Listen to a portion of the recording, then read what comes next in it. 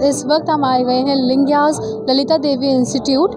यहाँ पे तमाम लोग आए हैं जी ट्वेंटी समिट के लिए, अपनी स्पीचेस देने के लिए, अपने एक्सपीरियंसेस शेयर करने के लिए और तमाम डेलीगेट्स अपनी बातें शेयर करेंगे, हमें बताएँगे। तो आइए जानते हैं उनका एक्सपीरियंस कैसे रहा है। अगर वो कोई स्पेशल मैसेज हमें देना चाहते हैं तो आइए थैंक यू सो मच आज हम लोग जी ट्वेंटी का प्रोग्राम कर रहे हैं और जैसे कि आप लोग जानते हैं कि इस साल भारत को प्रेसिडेंसी मिली है जी ट्वेंटी के लिए और बहुत ही प्राउड मूवमेंट है इंडिया के लिए। मोदी साहब ने कहा है 200 से ज़्यादा इवेंट को पूरे इंडिया में करेंगे।